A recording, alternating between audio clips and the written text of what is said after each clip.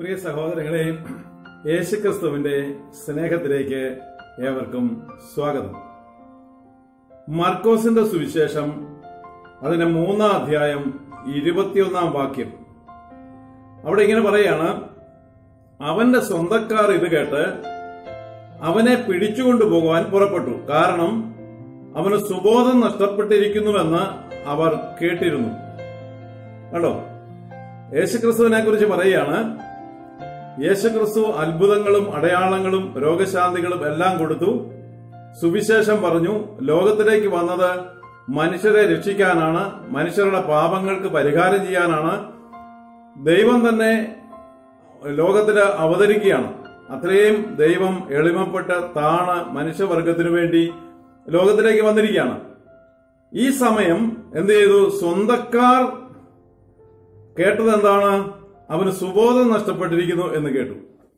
അപ്പം സ്വന്തം ആൾക്കാർ പോലും അവനെ മനസ്സിലാക്കാൻ കഴിഞ്ഞില്ല എന്നതാണ്. പ്രിയ സഹോദരങ്ങളെ ഇത് നമ്മുടെ ജീവിതത്തിലുണ്ടോ എന്ന് ചിന്തിച്ചു നോക്കുകയും നമ്മുടെയൊക്കെ ജീവിതത്തിൽ ഏതെല്ലാം നല്ല കാര്യങ്ങൾ പ്രവർത്തിച്ചാലും നല്ല രീതിയിൽ പ്രവർത്തിച്ചാലും നമ്മുടെ സ്വന്തം മാതാപിതാക്കൾക്ക് പോലും ഭാര്യയ്ക്കും ഭർത്താവിനും പോലും മക്കൾക്ക് പോലും നമ്മെ മനസ്സിലാക്കാത്ത എത്രയോ സാഹചര്യങ്ങൾ നമ്മൾ അഭിമുഖീകരിച്ചിട്ടുണ്ടെന്ന് ചിന്തിച്ചു നോക്കുകയും യേശു ഇതെല്ലാം അനുഭവിച്ചു എന്നതാണ്. എന്തിനു വേണ്ടി? നമുക്ക് വേണ്ടി. മക്കളെ ഇതെല്ലാം ലോകത്തിലുള്ളതാണ്. ഇങ്ങനെയെല്ലാം സംഭവിക്കാൻ സാധ്യതയുണ്ട് എന്ന് നമ്മെ പഠിപ്പിക്കുകയാണ്. അവിടെയെല്ലാം പതറാതെ ശക്തിയോടെ നിൽക്കാൻ ഈശോ നമുക്ക് ശക്തിയും ധൈര്യവും തരികയാണ്.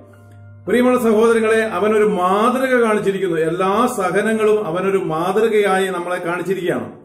നമുക്കറിയാം യേശുവിന് നമ്മൾ ഒരു ആവശ്യമൊന്നുമില്ല. ഈ സഹനങ്ങൾ ഏറ്റെടുക്കാനും മറ്റുള്ളവരാൽ നിന്ദിക്കപ്പെടുന്നത് അപമാനിക്കപ്പെടുന്നതും അല്ലെങ്കിൽ സ്വന്തക്കാർ പോലും അവന് വട്ടാണ് അല്ലെങ്കിൽ മാനസിക രോഗമാണെന്നൊക്കെ ചിന്തിക്കാൻ അങ്ങനൊന്നും അതിന്റെ ഒന്നും ആവശ്യമില്ലല്ലോ. പക്ഷേ നമ്മുടെയൊക്കെ ജീവിതത്തിൽ ഉണ്ടാകുന്ന എല്ലാ കാര്യങ്ങളും യേശുവിന്റെ ജീവിതത്തിലും ഉണ്ടാകുകയാണ്. എന്തിനാണ്? നമ്മൾ മനസ്സിലാക്കണം. അവൻ പറയുന്ന പറയുന്ന ഇതാണ് മക്കളെ നിങ്ങളുടെയൊക്കെ ജീവിതത്തിൽ ഇങ്ങനെയൊക്കെ ഉണ്ടാകാൻ സാധ്യതയുണ്ട്. അവിടെ നിന്ന് നിങ്ങൾ പതറരുത്. സ്വന്തം മാതാപിതാക്കൾ നിങ്ങളെ മനസ്സിലാക്കിയില്ലെന്ന് വരും. സ്വന്തം ഭാര്യ അല്ലെങ്കിൽ സ്വന്തം ഭർത്താവ് നിങ്ങളെ മനസ്സിലാക്കിയില്ലെന്ന് വരും. കാരണം അവർക്ക് മനസ്സിലാകുകയില്ല എന്നതാണ് സത്യം.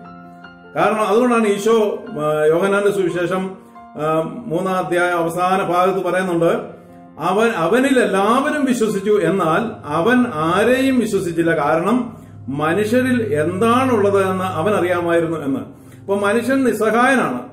മനുഷ്യന് മറ്റുള്ളവരുടെ മനസ്സ് മനസ്സിലാക്കാനുള്ള കഴിവില്ലാത്തത് കൊണ്ട് ദൈവം നമ്മുടെ മനസ്സ് മനസ്സിലാക്കുമെന്ന് തിരിച്ചറിഞ്ഞ് ദൈവത്തിൽ അടിയുറച്ച് വിശ്വസിച്ച് തന്റെ ഇടത്തോടെയും ധൈര്യത്തോടെയും പോവുക. ഇനി എന്താണ് പറയേണ്ടത്?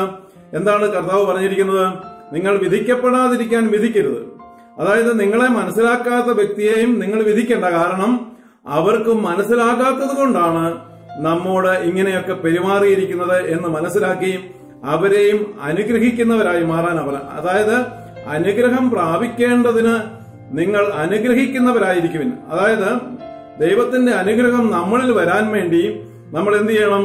ഈ കുറവുകളുള്ള എല്ലാ വ്യക്തികളെയും അനുഗ്രഹിക്കുന്നവരായി മാറാൻ ദൈവത്തിന്റെ വചനം പറയുകയാണ്. അതുകൊണ്ട് അതിനുവേണ്ടി നമുക്ക് പ്രാർത്ഥിക്കാം. ആ പവർ ആ ശക്തി പരിശുദ്ധാത്മാവ് നമുക്ക് തരും. ആ പരിശുദ്ധാത്മാവിന് വേണ്ടി നമുക്ക് പ്രാർത്ഥിക്കാം.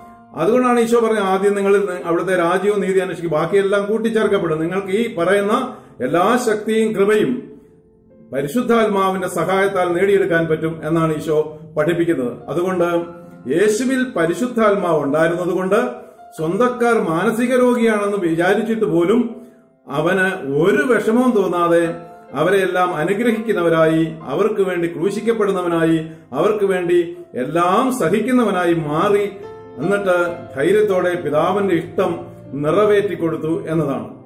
അതുകൊണ്ട് നമുക്ക് എല്ലാവർക്കും അതിനുവേണ്ടി പ്രാർത്ഥിക്കാം. യേശുക്രിസ്തുവിന്റെ കൃപയും സമാധാനവും എല്ലാവരിലും ഉണ്ടാകട്ടെ എന്ന് പ്രാർത്ഥിക്കുന്നു. നിത്യം പിതാവും പുത്രനും പരിശുദ്ധാത്മാവുമായ സർവേശ്വര എന്നേക്കും